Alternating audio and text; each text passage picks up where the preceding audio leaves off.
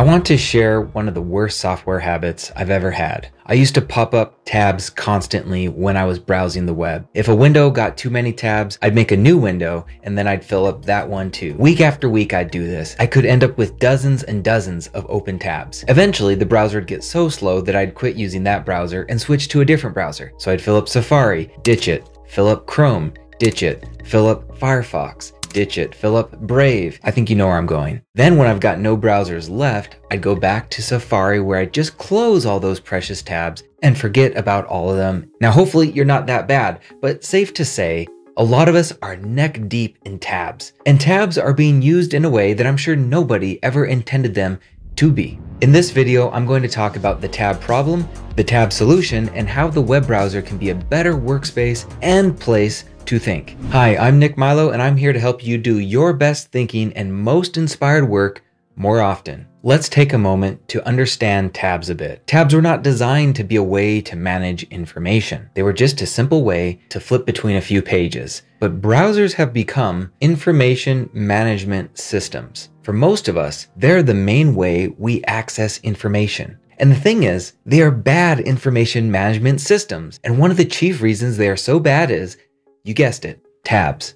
I mean, how many tabs do you have open right now? Go look. Post your number down in the comments below. Actually, I asked the community this, and about half of you, 44%, had more than 13 tabs open. Another 21% of you had 6 to 12 open, which is still quite a lot. Tabs are essentially a pile of pages. Your browser is a workspace. We do a lot of thinking here. So your workspace becomes the equivalent of a desk with piles of stuff on it. Plenty of brilliant people work this way. So, you know, don't beat yourself up over this too much if this is how you work. But I think tabs make us feel confused, overwhelmed, and a little disheartened sometimes because you end up playing this information management game that you are just slowly and inevitably losing. So the tab problem is this. Browsers are bad information management systems. And the main reason they're so bad are tabs. So if that's the problem, What's the solution? I think the best solution is a new tool, a browser that is designed as an information management system, as a workspace. And that browser exists, and it's called Arc. Now, Arc is Mac only right now, but a Windows version is coming soon. It is an invite only beta, so you need to join the waitlist or get an invite from someone already using it. Arc is a Chromium based browser, so under the hood, it's all Google Chrome, meaning that your extensions, if you use any, they're all going to work. Arc's big idea is that it merges tabs with bookmarks and then orders them in a cohesive way and it does some cleanup for you. I'll explain all that shortly. It's a unique interface and it may cause you a bit of frustration because we're so used to the old way, the tab way. But I'm hoping this video will lessen that frustration and I assure you that the minor learning curve is well worth it. So how does Arc work? Tabs are gone from the top and they now live along the side. This is surprisingly great because managing pages vertically is just simply better than managing them horizontally. You can see all the text for starters, or at least enough of it, and it's quicker and easier to drag stuff up and down than it is side to side. Now think about it. You can put pages in folders and open or close them as you see fit. You can select several pages at once and close them. Basically, the way that you manage files already on your computer you can now do that with your browser tabs. It's like, finally. In Arc, there are three types of tabs. Let's talk this through because it might sound kind of weird, but it's pretty simple. You can make these buttons at the top for your priority sites. These are called favorites. Lots of people will want their email there, or Slack, or their calendar, or Spotify. These buttons are actually like bookmarks and tabs at the same time. Whoa. These stay here until you remove them. So if you close one of these tabs by hitting Command W, you've closed the window, but the button stays put because it's also a bookmark.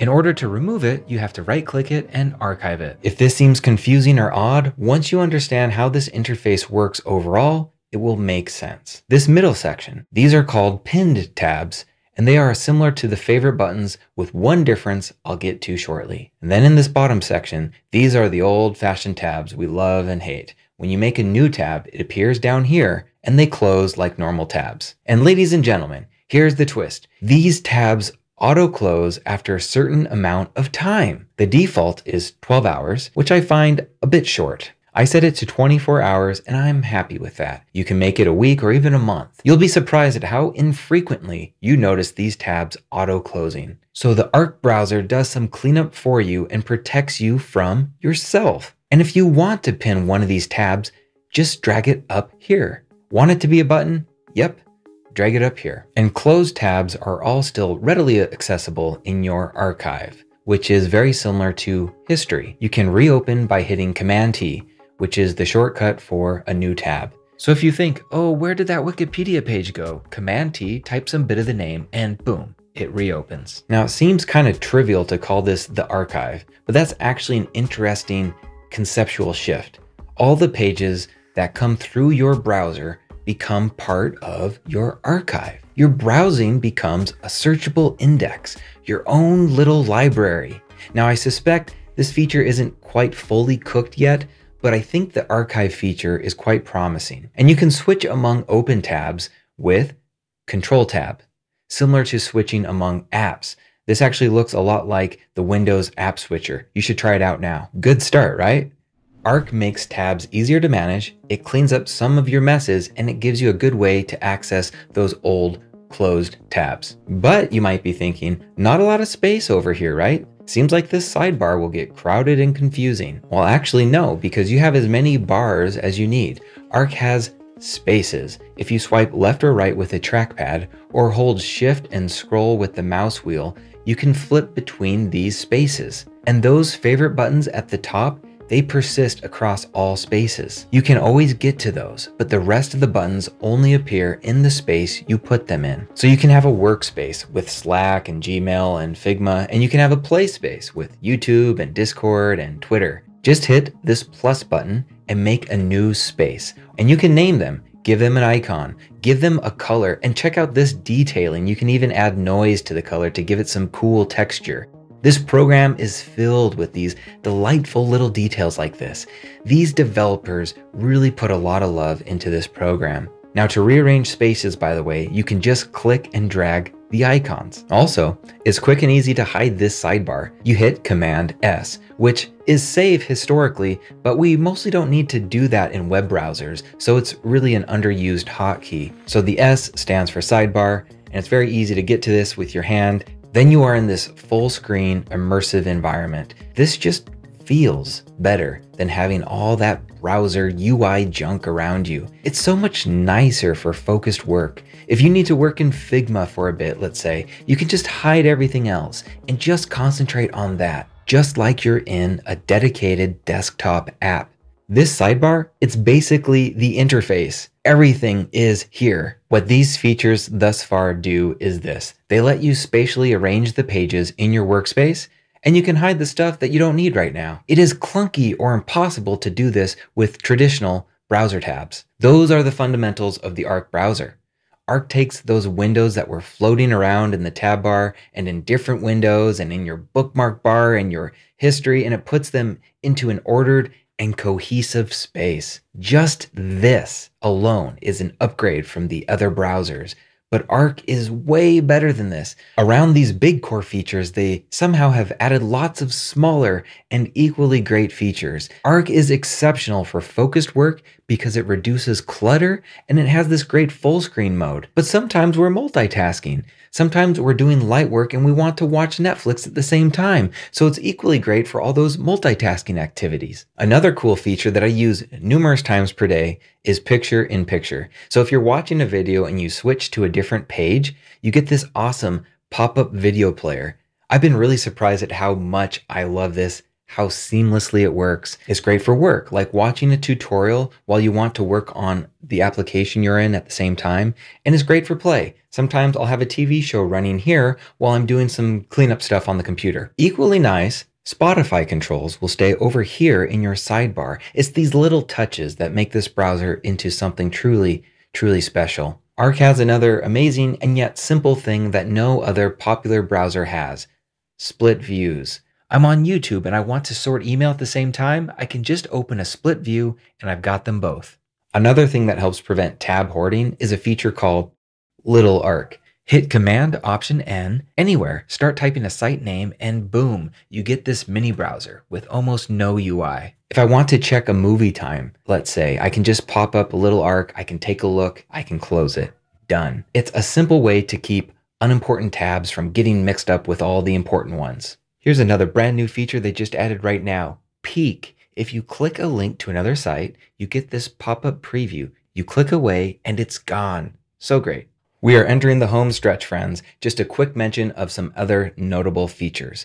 Firstly, for Obsidian users, here's a fantastic one. Hit Command Option Shift C and you get a markdown link. You get the page title with a link. I use this all the time. It's incredibly handy. And you can also hit Command Shift C to just get the URL. Also, over here on the left is something called the library, which has screenshots, even your desktop and also your downloads. The most notable feature, however, is called easel, which lets you grab screenshots and type text and draw lines and arrows. It's kind of like Canvas in Obsidian. I've not gotten into using this, but something I really like here is that it maintains links to where everything came from.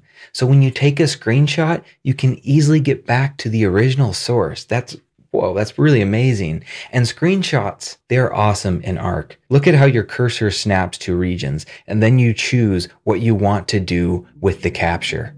There it is. The best solution to the tab problem is the Arc browser. I strongly recommend checking it out. It rethinks how we interact with the internet and with information.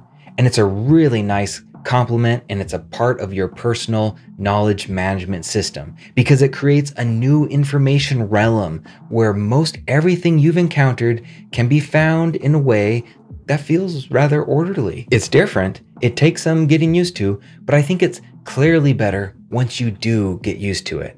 It's now my daily personal browser. It's hugely impressive, and yes, it's still in beta somehow. Even if you never try Arc Browser, I think one day in the future, you'll be using some of these features in whatever browser you're using, because I suspect the big boys will be stealing them. They're just too good. Thank you so much for your time, everyone. I look forward to seeing you again, and until then, stay connected.